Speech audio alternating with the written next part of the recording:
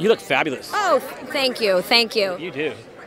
Um, I think it's having your cake and eating it too. It's getting the warm, fuzzy feeling from the nostalgia of the past, but also being smart enough to know, well, the past wasn't perfect, so let's all, okay, we can begrudgingly say the past wasn't perfect, but really you just want to be back in the past. Also, do you think it's like you want to see those actors again in those same roles and you kind of want to relive it a little bit? Yeah, you want to relive it and you want to feel like also you are the person you were when you first watched that show. I think it's inherently selfish. Do you think it's harder to write a reboot show than other shows? Uh, no, because there's a um, there's existing show for you. Anytime that there's existing material, I think it's easier. I think. Tell the writers that, right? I don't. I just I don't know. That's a just hard one. make, That- make, that- new, make that's- new that's- things. Make new things. Writers are out there with new ideas. Make new things. There you go.